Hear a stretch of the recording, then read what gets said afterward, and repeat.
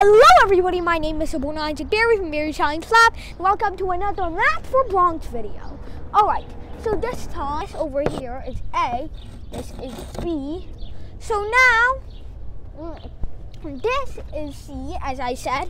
So the only information we have, this is 9, this is 13, and this is the right triangle. So we're trying to find what CD is. Well, it's actually decently easy, even though we only have three givens. So, 9, 13, question. How do we solve? this? Well, the first thing to know is we have to find what AB is. Why? So that we can find out what AD is.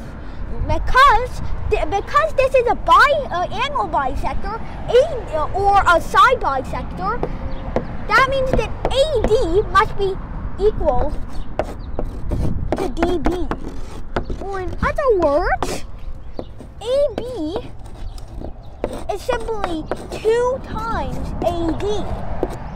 So now we can use the Pythagorean theorem.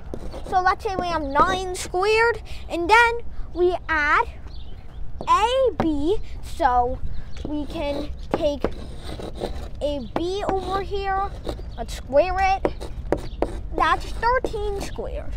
So now we have 81 plus squared is equal to 169. What do it manually? I give up. Uh, minus 81. That's 88. Why did I do that? So AB is the square root of 88. So, however, this is actually equal to square uh, to root 22.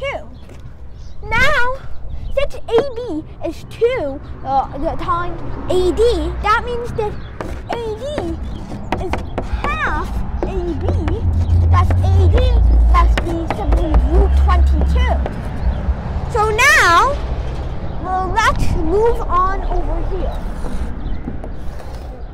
So now, let's just take the right triangle ADC, and that will let us solve. So now we have 9 we have root 22, and we have to find C, D to end the problem. So 9 root 22, you know what to do, Pythagorean theorem. A squared, B squared, C squared, underline twice for emphasis. Now, 9 squared plus the square root of 22 squared is C squared which gives us 81 plus 22 is c squared.